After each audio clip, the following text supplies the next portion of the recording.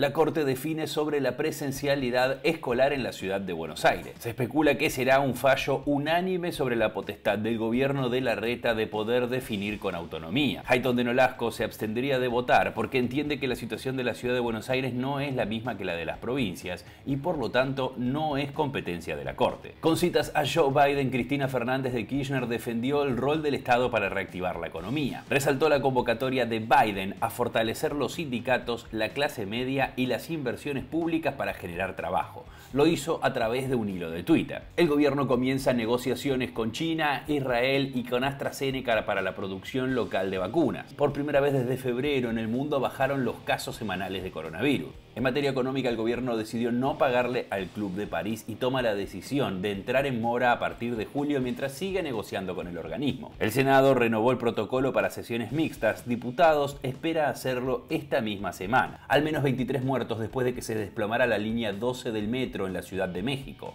Sarmiento y Gimnasia empataron 0 a 0. Estudiantes derrotó a Platense 2 a 0 y se clasificó para los cuartos de final. Por Copa Libertadores hoy juegan La Calera Vélez, Barcelona de Ecuador con Boca y Defensa y Justicia con Palmeiras. Más temprano Manchester City y PSG definen al primer finalista de la Champions.